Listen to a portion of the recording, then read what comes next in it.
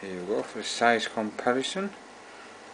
This nymph is around five months old and this month is round about five days old.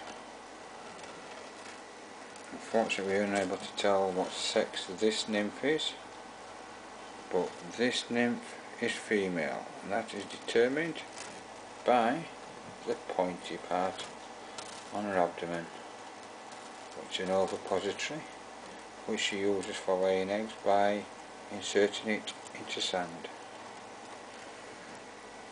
There we have two different sized nymphs of the Trachyaretaon brueckneri species.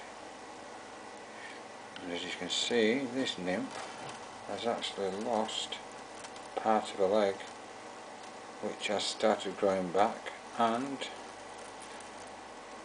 within the next two or three months we'll have grown back most of that missing leg.